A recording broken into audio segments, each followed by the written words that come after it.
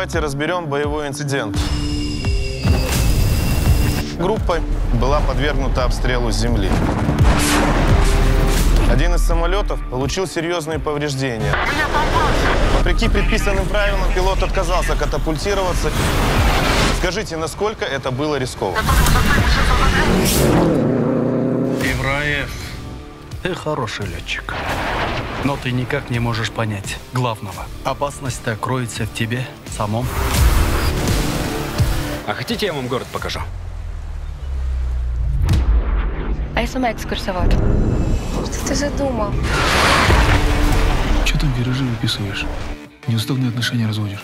Ты про меня хотя бы подумай, у нас с тобой на двоих одна фамилия. Долетал сам авиатор? Меня из отряда отчислили. Ты военный. Тебя по результату будут судить. Давай быстрее взрослей.